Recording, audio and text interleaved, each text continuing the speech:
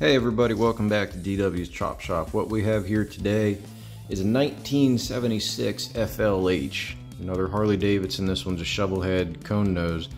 Um, I took this one apart and this has been a project of mine for years. It's my personal bike, or one of them. I've done a split case rebuild, replaced all your bushings, washers, wear parts, um, bushings, bearings, any wear parts. It's all been replaced.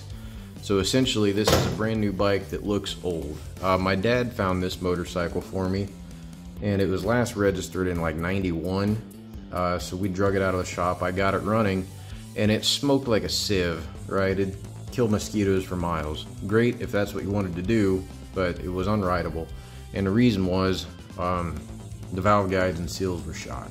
So I sent these heads off here recently. You know, this sat for three years, and you'll see that in a minute. But I sent these heads off to one of I consider the best shovelhead machinist, who's Leo, who owns Full Blast Engineering in Sioux Falls, South Dakota. Um, this is 2023. I got these heads redone in 2023. Sent them the rocker boxes, everything. What you see, sent it out, and they came back, and they're beautiful. And I'll show them to you here in just a second. It cost me $750. Uh, I don't get discounts. He doesn't even know I have a YouTube channel. That old bastard probably doesn't even use the internet. So, anyways, like I said, I had left this thing sit for a long time. So this is going to be a whole top end, but I did want to show you on how to take these off. So let's get into it. I did a pretty long intro, I'm sorry. Anyways, you got to get rid of your gas tanks, anything that comes down below this rear frame. Front head, plenty of room, lifts up, pulls out. sits down, have something to sit them on. Now, another quick trip trick. You see uh, this right here? That's your positive battery terminal. You know this is? This is a fucking ground. So either take your battery off or cover that up real quick. But you grab your head and there is just enough room. You leave your rocker box on, lift up. You might have to whack it with a hammer a couple times to break your seal and it pulls right off. But now let's look at this head, right? I mean, that is beautiful, isn't it? Brand new valves, new seats, new guides.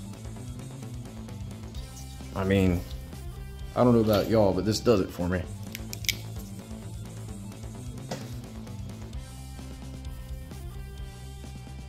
Yep. Lifters or rockers. Lifters are back here. They're still, but just beautiful. Beautiful, beautiful, beautiful.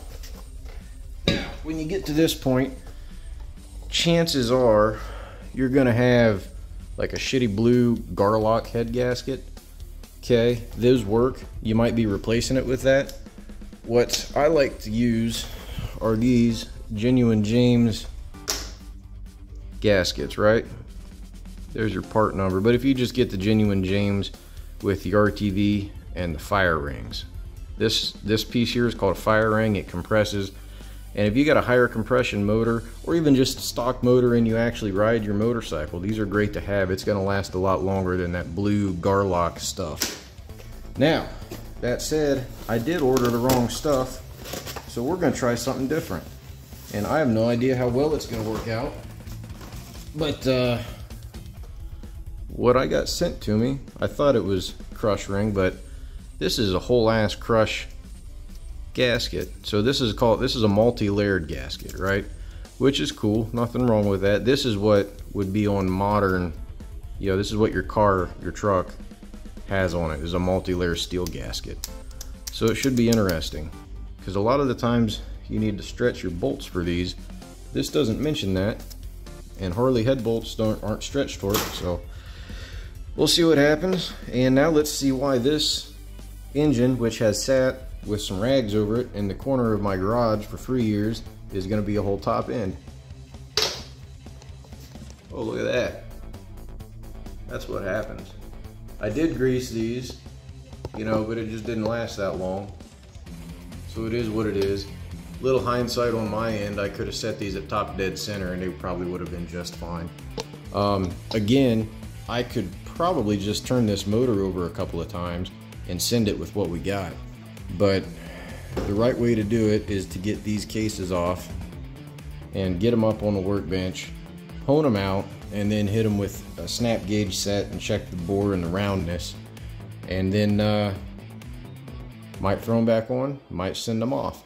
If you can see here, right there, I don't know if you guys can see it, but this one says 030, right? And this one back here is also 030. So both of these are bored 30 thousandths over. You can go up to 60 thousandths over. Some people say you can go to 80 thousandths over. The tech manual, what I like to go by, says 60 thousandths over and you won't lose any reliability. So these cylinders have some life left in them. Not a real big deal. Um, and if we can, I'll reuse those pistons because they have eight minutes of runtime on them. So let's see, I think we can get both of these cases off. This one is low, this one is tall, but we got a lot of room right here. Um, yeah, let's see wrenches. What do we need? We need five eighths, I believe.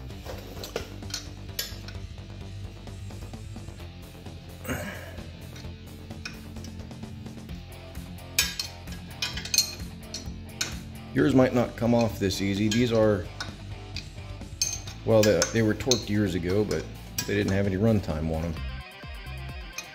So I'm just guessing that's helping.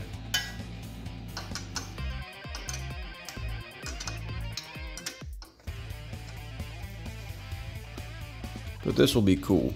One of my uh, videos was solid lifter adjustments. So this one has hydraulic lifters, so we get to go over that adjustment. That'll be fun. Hope you guys can count. This is something that we're going to replace. Lock washers.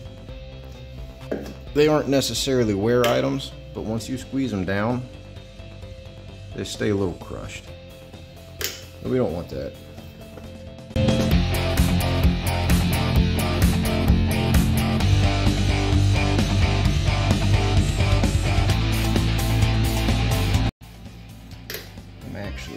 Something just to keep crap off of the lifters here.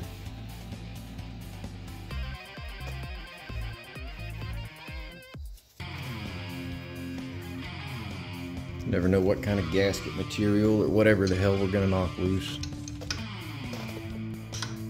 And this really isn't too bad to do whether you need to do it on a side stand or on the kickstand or on the ground think it's more just a habit for me to roll shit onto the lift at this point. And these bolts that we're taking off are reusable. Bolts, nuts, nuts that we're taking off are reusable. Let me show you guys a trick. Now let's say you're doing this on a bike that hasn't ran in a bazillion years, right? Four man's impact. And just start whacking and it'll go. Right? That's for ones that are seized in place.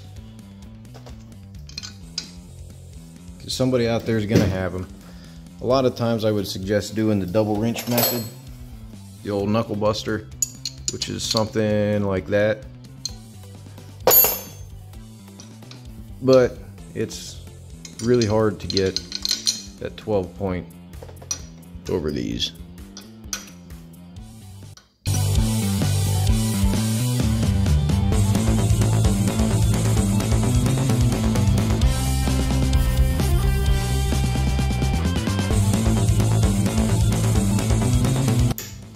Okay, you guys want to come with me to the other side? Turns out you don't have a choice.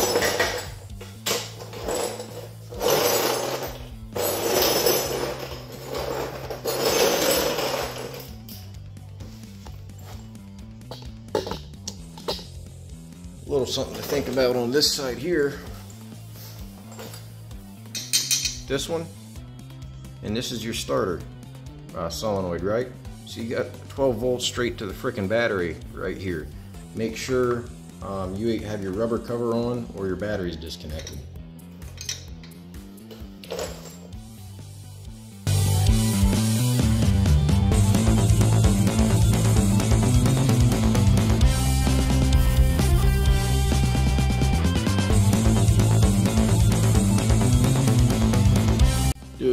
Tube. Kind of annoying. Because, like, for you, this is going to be like a 15 minute total video. For me, I'm going to be sitting out here for an hour and a half. And I can't have any music playing loud or I'll get copyrighted. I don't even make any damn money off of this channel. And I don't have a I don't make money off anything motorcycle related. I buy them, I collect them, I fix them for people I like. Turns out I don't like a lot of people, so I don't fix a lot of motorcycles.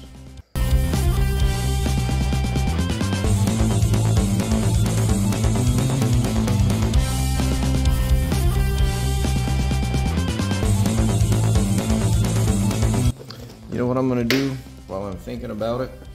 Because we're gonna have to fight these off of the pistons and off of those rings and I bet you that the rings are gonna be a little bit rusty. Let me hit that shit with some penetrating oil.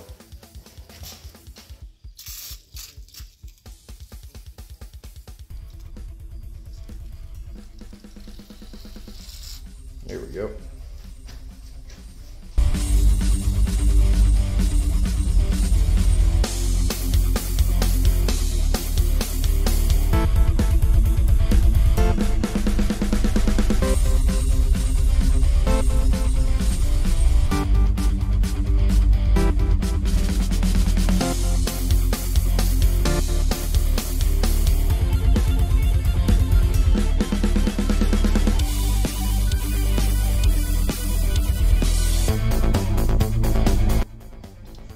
Guys, how easy you think these will come off? Ooh. So let's start with this one. Alright.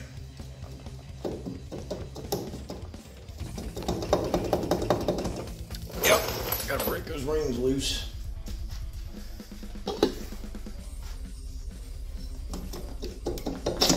Ah, yeah. Now, you see where I stop right here? Where you can kind of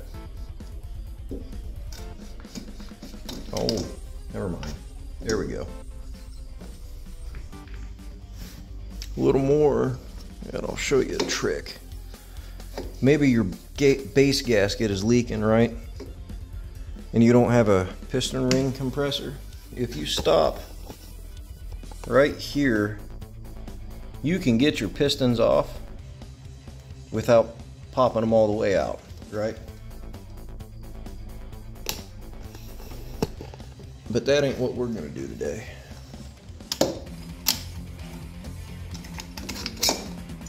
These puppies are coming out. And I can already tell we're gonna have some issues. Why in the fuck was that so stretched out? Alright, let's see. This, uh, this don't look good don't feel good, but I'm not catching anything. So we are gonna hone these. We'll see what happens from there. I'm 50-50 right now on whether the hone's gonna cut it or we're gonna need to uh, send these off to old Leo. That's Leo Full Blast Engineering in Sioux Falls, South Dakota. Tell them old Marcus sent you. And then these gaskets are pretty much shot.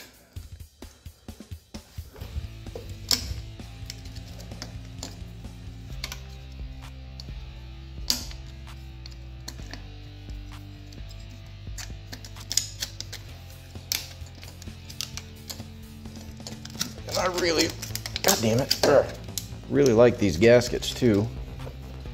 Because these are like if you look metal in the middle with the gasket material on each side and then like an RTV ring they don't leak man. They are just solid good gaskets. These are genuine James gaskets. You can get them from JP Cycles TC Brothers you know anywhere you can order your Harley parts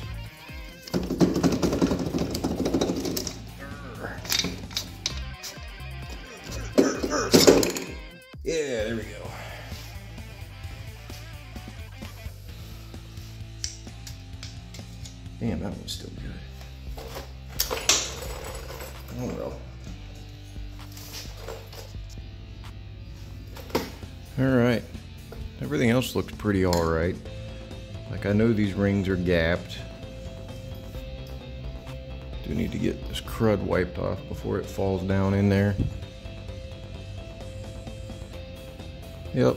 Well, I think that's about as far as we're going to get tonight. Because I uh, ordered some snap gauges so I can measure the bore on these cylinders, and that's really the next step. Can't do much until then. So, somewhere I got a tool that slides in here and blocks these and holds these things up, and it's red plastic, and it's cool as shit. And it made me look like a real mechanic, but I put them somewhere, and I can't remember where that was somewhere I wouldn't forget them. So once I figure that out, I'll put those in. But other than that, this is it for the night. Uh, next video, we're going to be checking bore and trueness on these old girls to see if they need shipped out or not. So stay tuned.